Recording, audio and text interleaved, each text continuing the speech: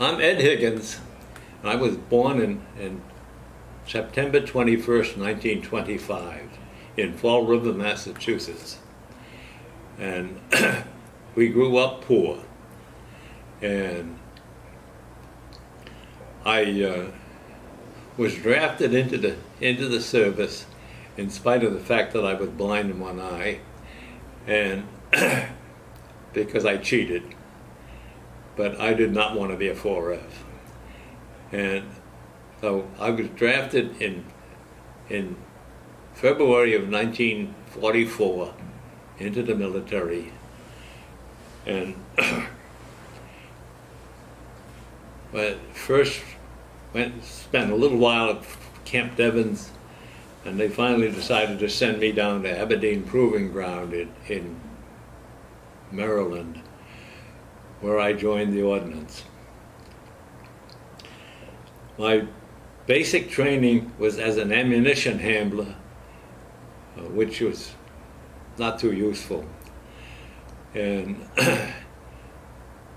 I was then transferred into a, a weird little outfit that was doing experimental work on muzzle velocity. And uh, we trained at first at, at, Camp Pickett, Virginia, and then down in, in, in uh, Fort Bragg, North Carolina, where we tested the surviving attempt at doing this job. And even though it only worked in the middle of the day, we were sent overseas with it. I sailed from Brooklyn in on September 21st, 1920, 1944, and spent 13 days at sea on the way to, to Greenock, Scotland. Then I spent uh, roughly a month in in uh, various places in, in in England, getting our equipment in from the shipment and getting it fixed up and ready to go, and sailed on an LST into from Portsmouth into Rouen, France, and then on into Paris where we got our condition up, equipment ready to really go, and then got to test the equipment and this was at, at the Christmas season. We traveled north up into into uh, Lorraine uh, in December, on, starting on December 25th, up into Lorraine and into, we went in with, with Patton's relief column going into, into Bastogne in uh, early January of, of, of uh, 1945. We operated in the Bastogne area with all of artillery battalions that were in that area over the next several weeks and then went on with the rest of the, the troops through the Ardennes in the, in the Battle of the Bulge. Uh, we ended up calibrating the guns of, of every major artillery piece in the Third Army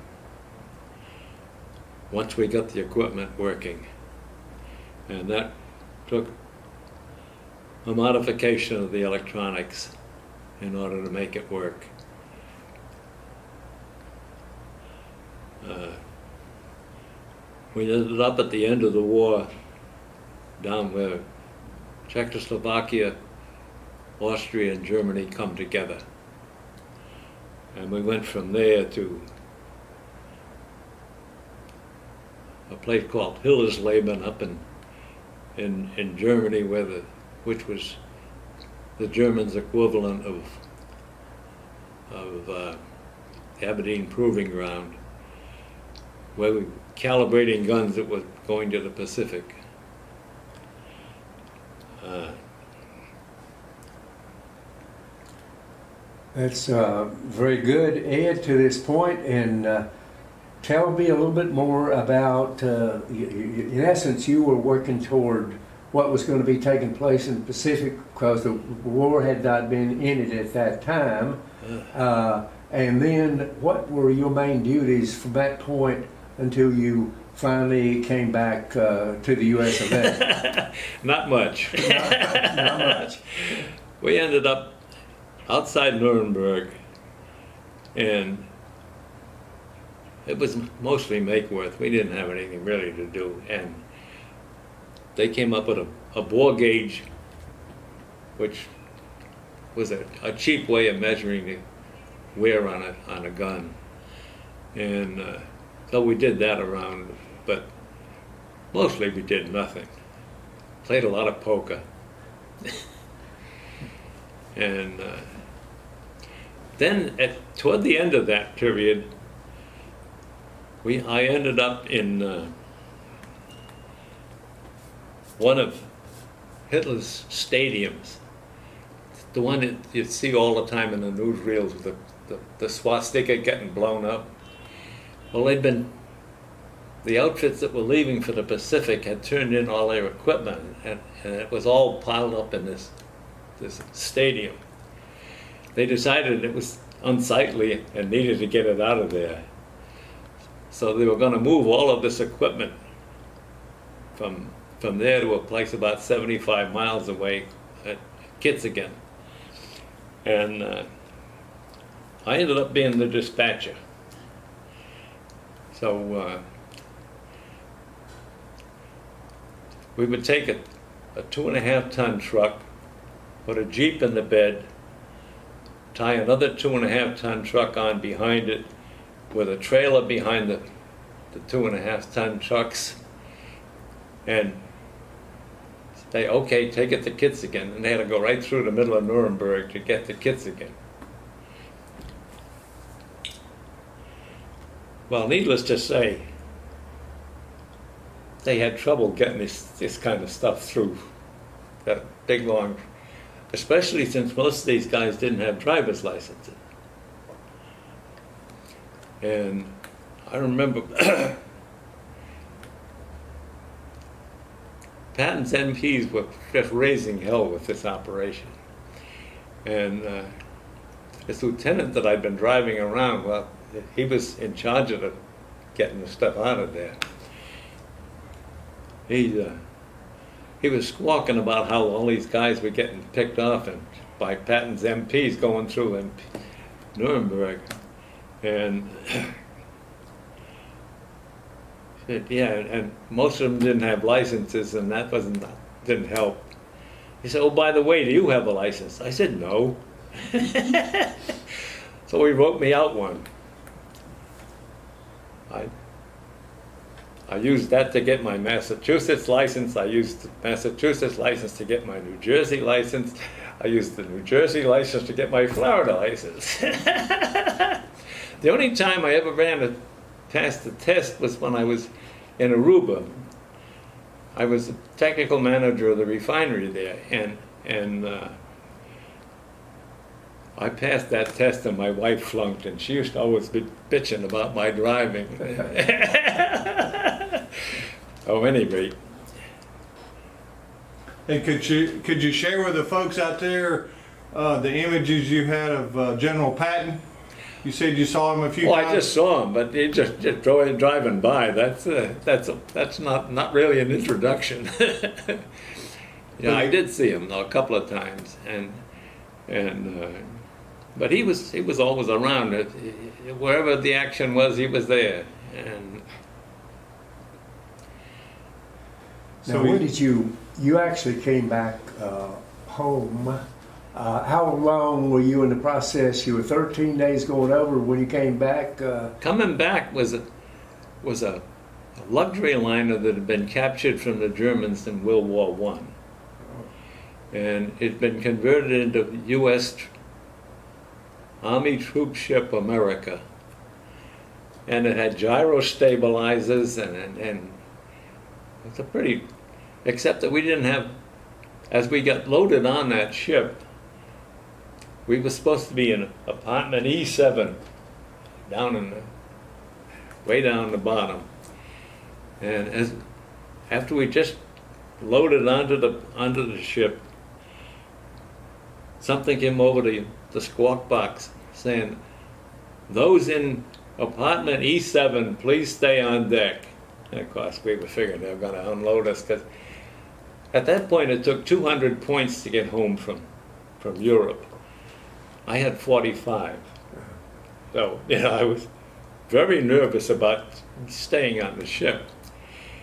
And uh, so they said, they, those on E7 if- apartment, we, we've run out of room for, for uh, second lieutenants, so we're going to have to take your compartment. That was the last me- message we got, and all of a sudden they're casting off the lines, and the ship left. Woo! We, could- we made ourselves a home on one of the hatch covers. That's where we spent the whole trip. and At least you got very back happy to across be there. Absolutely happy to be there. So you came across in what? Uh, uh, how many days was that? Well, that was And fast. where That- did you land? Uh, We landed in Boston, okay. and they immediately loaded us off and sent us to Camp Miles Standish somewhere in Massachusetts there. And the next morning we got on a train and went down to Aberdeen. Well, they didn't know what the hell to do with us. uh, and uh, they put us up in the WAC barracks there. The WACs had disbanded, I guess, by that time. That was the Women's Army Corps. So we, we, they had these empty barracks that had nothing to do with, so they put us in. And they had nothing for us to do. So finally, I guess we were only there a few days and they decided they'd put us on temporary duty to our homes. So I had 45 days of temporary duty, which was my first furlough. and uh, after that, we went back and they still had no idea what we are going what they wanted to do with us. So most of us went AWOL. I was I spent a couple of weeks at a soldiers and sailors home in, in Washington and and a couple of guys that were too chicken to go AWOL, uh, they, they, they were there as contacts.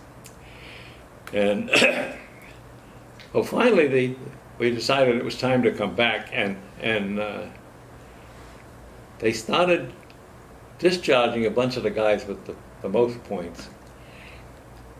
And the rest of us, they decided they'd put to work, and I went to work in the, uh, the photo lab and and in the proving ground developing film. I'd never done it before in my life, but there I was doing it.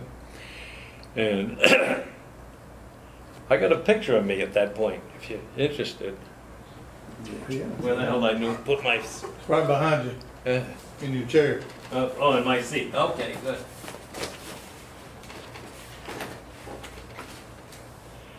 This is just before I was discharged.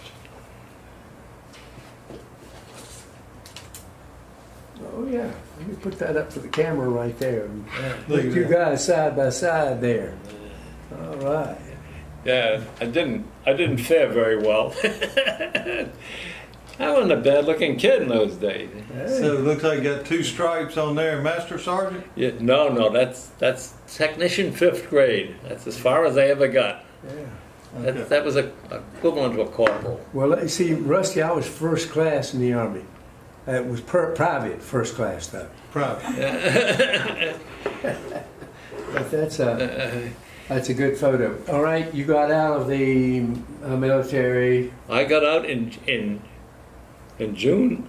Uh, no, excuse me, in April of 2006. 2000. 1946. Right. And uh, there was absolutely no work in Fall River at that point. And I started taking the 5220 they give you twenty bucks, twenty bucks a week for fifty-two weeks. And I did that for a few months, and then I took a job on the road selling magazines. And I, I worked that from, I started down in Parkersburg, West Virginia, and worked my way all the way up to the Canadian border in five months or so, six months or so. And then I decided I had enough of that. So you got into the, uh, co- college, your college and university. I was waiting to get into college at that Yeah, point. Right. And uh, I, I actually couldn't get started until uh, August of, uh, of, of 47. So um, I had a, few other jobs, like I worked on a, a lunch counter in, in Hyannis for the summer, in, in, in Hyannis, Massachusetts, on the Cape. And I kind of liked the Cape after that. so that's where I, the last 25 years, we owned a place in Florida and a place in, on Cape Cod, and we were snowbirds for 25 years. And your university training was where? was was at, at Northeastern University. I, I began a dynasty. My uh, I graduated in '52. My son graduated in in 1980 as a, a mechanical engineer. I graduated as a, as a as a chemical engineer, and he just retired from General Electric after 28, 29 years in the aircraft engine. He retired as the the principal consulting engineer for aircraft engines. His son graduated from Northeastern as a computer engineer in 2013. And he just started his new company, a new, a new company of his own, which just got fine, funded by a, a venture capitalist outfit. So he's building up customers and, and employees at this point. And your work took you to a variety of places. I visited 107 countries. I probably worked in 85 of those, something like that, at one point or another. I lived in Germany for the year 1959.